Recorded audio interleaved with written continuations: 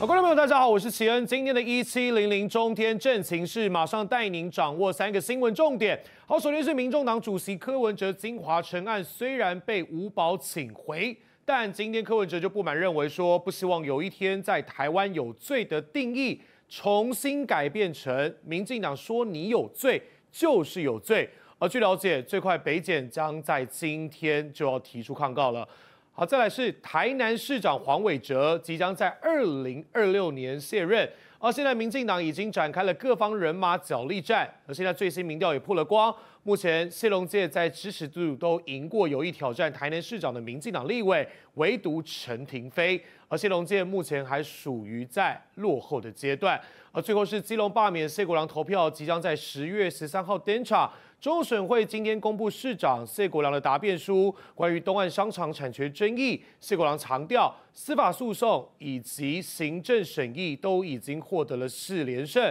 代表基隆市府自始至终都是依法行政，站得住脚的。好，首先是政坛最焦点，依旧是聚焦在柯文哲的精华城案。那今天一早，柯文哲就不满的说，这个检联搜索住家带走 USB 跟硬碟，比照桃园市前市长郑文灿的案子，但检方在第二天就提出了抗告，为什么他的却拖这么久呢？研判检察官正动用所有的力量，正在研读电脑里的资料。而确实，柯文哲现在被五保请回哦，让不少人就开始质疑了，这个剪掉是不是证据不足？想办柯文哲只是为了办而办呢？而刚刚稍早呢，北检呢也正式的向台北地院提出了抗告。啊，但这几天这个剪掉如此的大动作，我知道，那么目前呢，已经让台湾政坛哦出现了不少的波动。国民党立委李彦秀就认为说，假设检方拿不出直接的证据，对于抗告或再次声押，如果又再次失败的话，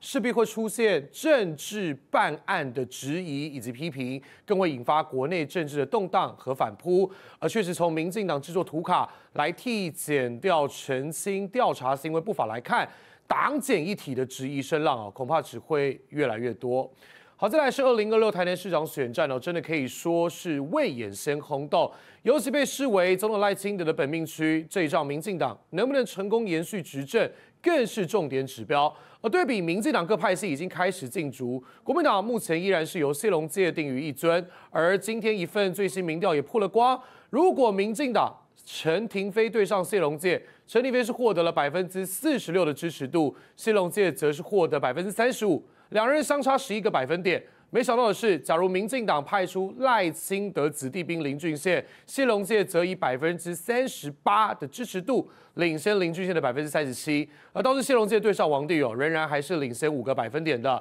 所以可以想见，一旦民进党在台南市长这仗，如果派系间出现了分裂，蓝绿对决的情况底下，谁输谁赢，或许都还很难说。最后是基隆市长罢免投票，即将在十月十三号登场。而今天谢国良的答辩书也破了光，不止提及东岸商场争议是市府守住了市民的财产，更强调谢国良在基隆市政上，除了加速汰换老旧大型公车，更兑现了公益青年电动机车方案的政策。不过也特别提到了，提升罢免案的投票率才是真正体现民主的价值。既然要罢免要办这个罢免投票，就要比照办理来选举，让民众在资讯充足而且认知正确的状态下踊跃投票。毕竟此时此刻，极力催票是非常关键的。尤其距离罢免投票还有将近一个月左右的时间，民进党肯定会在地方基层出现动员罢免的情况。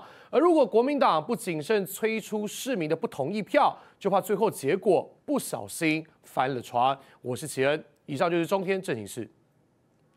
好，齐恩，你刚刚真的很可爱。导播跟你说，哎，北检已经提。提这个抗告，你就说我知道，大家都知道了 哦。对，我们是非常及时的哈，所以北检提提抗告了，到底理由是什么？我们现在请齐恩去帮大家调查一下，了解一下，再来告诉我们，好不好？谢谢齐恩，好，拜。朋友都知道我是很挑剔的，防晒乳我选 Kiss 皇家呵护抗光清爽高防晒凝露，因为它有媲美蓝光神盾的抓藻植萃。保护我在阳光下延缓肌肤老化，维持青春弹力，可以防御工作环境里的三 C 商品各种光源对肌肤的伤害，擦起来清爽不黏腻。我特别喜欢它做到海洋友善，三百六十五天，天天抗光抗老化，是我的保养日常。你呢？呵护您，呵护全家人，专属你的 Kiss Royal Care 抗光清爽高防晒凝露。